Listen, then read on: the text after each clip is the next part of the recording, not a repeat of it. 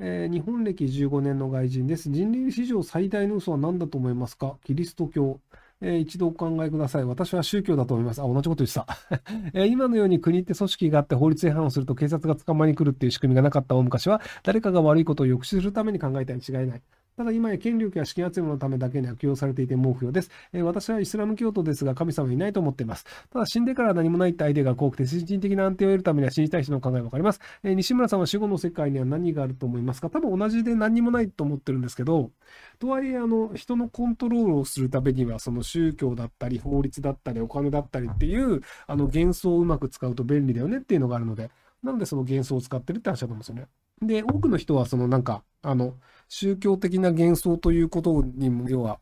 まあ、例えばじゃあ宗教っていうと日本だと信じない人多いと思うんですけど、じゃああの、お墓って、なんか蹴ったら悪いことをしたようだ気になるとかも、お墓って別にただの石になんかあの彫ってあるだけなんですよね、文字が。なので、ただの石なんですけど、でもなんか、そのお墓と言われる石と、あの、そこら辺の石は別に扱うみたいな。っていう感じで、これは特殊なものだよねってみんなが思い込んだらそれを信じるみたいなのがあったりするので、なので多くの人っていうのはそういう形で幻想を持たせた方が、あの、納得してコントロールしやすい、されやすいっていうのもあるんじゃないかなと思うので、まあ、その結果、あの、人類がこう、社会性というものを持って、あの、他の動物から抜きんでたっていうのもあるので、なので、それ自体も一概に否定するわけではないんですけど、ただ権力者であれば、そういう幻想って便利なんですけども、権力者でもない人が幻想に浸ってても利用されるだけなのになっていうふうに思ってたりします。off.